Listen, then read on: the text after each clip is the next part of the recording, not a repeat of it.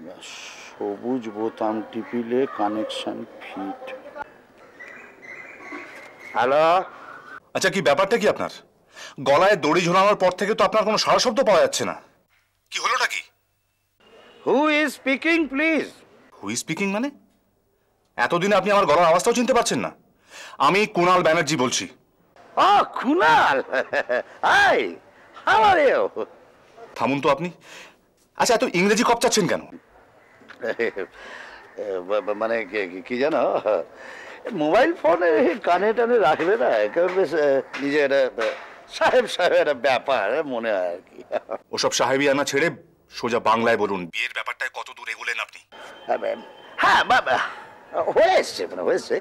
ওই আর কি মানে আস্তে আস্তে জাল গুটোচ্ছি বুঝলে তুমি একটু মানে সময় দাও একটু ধৈর্য ধরো। অত সময় আমার নেই পঞ্চানন বাবু। আরে আজকে দুনিয়াটা জেট স্পিডে চলছে। ঘণ্টা দুয়েকের মধ্যে দিল্লি মুম্বাই পৌঁছানো যায়। মিনিটের মধ্যে নিউ ইয়র্ক লন্ডনে কথা হচ্ছে। আপনি কি বলছেন? হ্যাঁ অথচ দেখো পঞ্চাশ বছর আগে মানে মেয়েরা সাজুগুজু করতে যতটা সময় নিত এখনও দেখো ঠিক সে ততটাই সময় নিচ্ছে। তো ওদের ব্যাপারে তোমায় একটু তো সময় দিতেই হবে। আর কত সময় দেবো আমি আপনাকে? এর মধ্যে আপনি কত টাকা নিয়েছেন আপনার কোনো খেয়াল আছে? না টাকা তো নিতেই হবে সে তো কিছু করার নেই। কি জানো?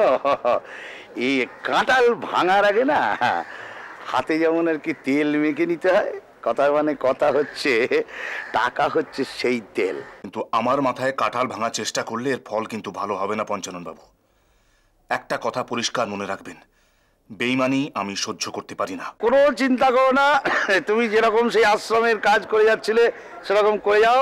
আমি ওদিকে সব ব্যাপারটা দেখছি।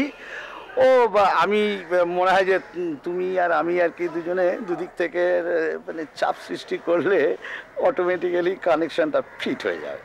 আমি আপনাকে পনেরোটা দিনের সময় দিলাম পঞ্চানন বাবু এর মধ্যে আপনি বিয়ের কার্ডগুলো ছাপিয়ে দেবেন। তা না হলে আপনার পুরো পরিবারকে আমি পথের ভিখিরি বানিয়ে দেব।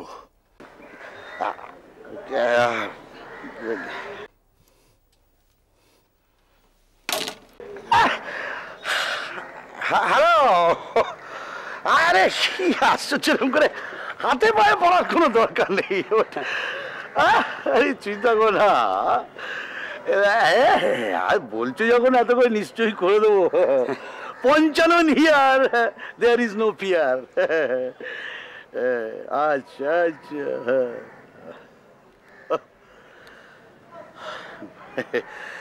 মানুষের জীবনে উপকার করতে করতে বুঝলি হ্যাঁ। আলাকান হয়ে গেলাম। ঠিক ঠিক।